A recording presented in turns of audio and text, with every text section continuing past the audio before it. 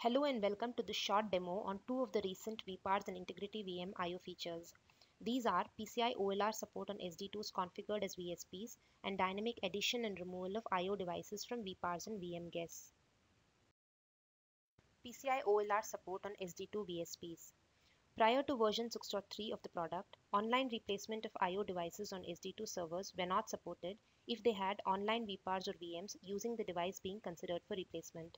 With version 6.3 of the product, this restriction has been removed. Now, if the removal of the I.O. card on the VSP has no system critical impact on the VSP or the vPARS and VMs running on it, then the OLR operation is allowed to proceed.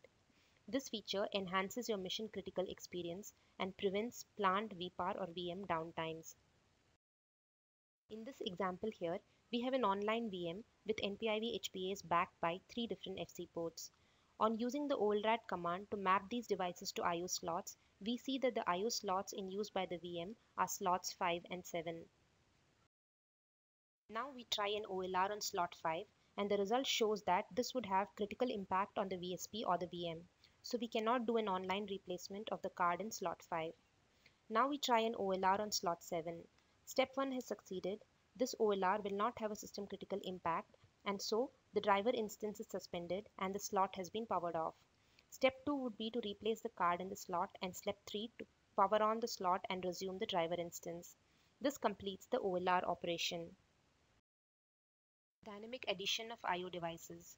With version 6.3 of vPARS and Integrity VM, NPIV, DIO, AVIO storage or AVIO networking I.O. resources can be added to vPARS and VM while they are online. This feature comes handy when the I.O. resources of a vPAR or VM needs to be increased on the fly. The online additions could be to add additional networking bandwidth, additional storage capacity, or additional I.O. paths for enhanced high availability. This capability is an improvement over vPARS 5.x where I.O. slots cannot be added online.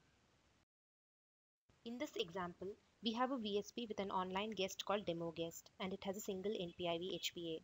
Here's a screenshot of an IO scan inside Demo Guest showing a single NPIV HBA instance.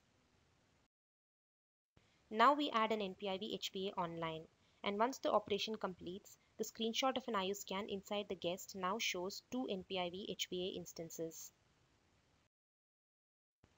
Dynamic removal of IO devices. With version 6.3.5 of vPARS and Integrity VM, NPIV, DIO, AVIO storage or AVIO networking IO resources can be removed from vPARS or VMs while they are online. This feature comes handy if you wanted to remove excess or unused resources from a vPAR or VM in order to make them available to a needier vPAR or VM. This again is an improvement over vPARS v5.